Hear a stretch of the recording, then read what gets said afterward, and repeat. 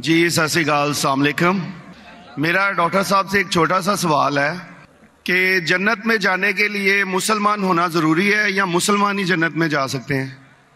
भाई साहब, का सवाल है कि जन्नत में जाने के लिए मुसलमान होना ज़रूरी है? सिर्फ़ मुसलमान जन्नत में जाएँगे? सिर्फ़ अपने आप को मुसलमान बोलना जन्नत में जाने के लिए काफ़ी नहीं है। जिस तरीके से मैंने मेरे तकरीर में कहा, जन्नत में जाने के लिए चार चीज़ की ज़रूरत है। सूर्य अल असर सूरा नंबर 103 आयत नंबर एक दो तीन। अल्लाह ताला फरमाते वल अस इन्नल इंसान खुश अल्लाह ताला वक्त की कसम खाते और कहते हैं कि इंसान खसारे में है। सिर्फ़ वो लोग बच जाएँगे जो लोग के पास ये चार चीज़ें नंबर वन ईमान।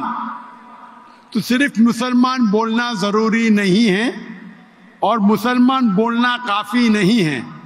आपके पास नंबर वन होना चाहिए ईमान। अगर आपके पास ईमान है कि अल्लाह एक है और अल्लाह के आखिरी नबी मोहम्मद सल्लल्लाहु अलैहि वसल्लम है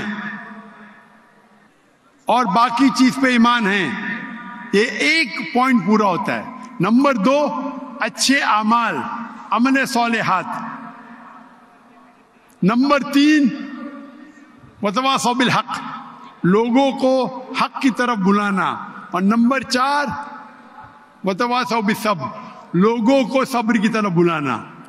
तो इस आयत से हमें पता लगता है कि जो आदमी, जो इंसान अल्लाह के अलावा दूसरे और की इबादत करता है, वो गलत है। वो जन्नत में कभी भी नहीं जाएँगे। और ये सारे किताबों में लिखा है, सारी मजहबी किताबों में। चाहे बाइबल हो, ओल्ड टेस्टमेंट हो, न्यू टेस्टमेंट हो, धम्मा पढ़ हो, बुद्धिस्ट की किताब हो वे दो सारे में लिखे है।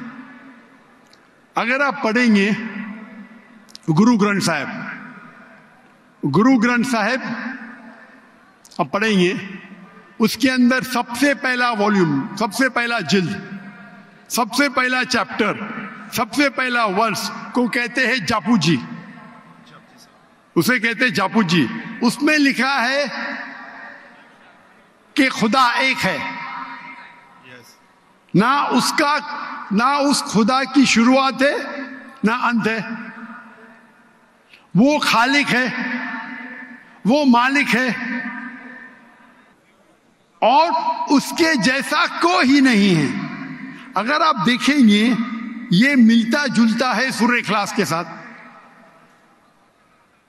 आप अगर सिख की किताब पढ़ेंगे, उसमें लिखा है दो किस्म, ओमकारा, एक ओमकारा। ईश्वर का मैनिफेस्ट फॉर्म अनमैनिफेस्ट फॉर्म हाँ कि नहीं? हाँ कि नहीं? तो अगर आप पढ़ेंगे और देखेंगे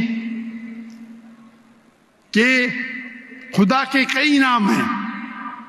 राइट कहा जाता है सत्तनामा होली नेम। परवरदिगार। जी। परवरदिगार भी एक नाम है आपकी किताब में हाँ के नहीं? परवरदिगार। जी, जी। सत्यनामा खालिक। मिलता जुलता है। वाहे गुरु। वाहे गुरु।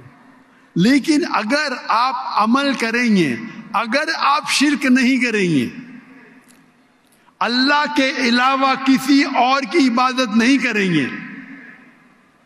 अगर आपके किताब में अक्सर ये बात होता है कि जो अपनी मजहबी किताब में लिखा है, अक्सर लोग उस पर अमल नहीं करते। और ये बात मुसलमानों में भी है। मुसलमानों की किताब में लिखा है, शिरक मत करो, फिर भी हम देखेंगे कुछ मुसलमान शिर करते तो अगर कुरान में लिखा है, शिरक मत करो, और आप शिर करेंगे और कहेंगे, मैं मुसलमान हूँ तो जन्नत में नहीं जाएँगे। आप समझ रहे भाई साहब?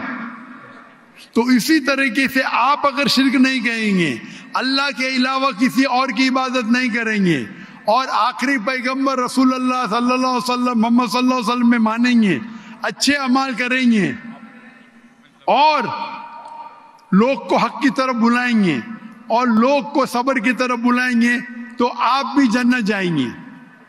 Right hope Hope that answers the question, Maitab. Thank you. Thank you.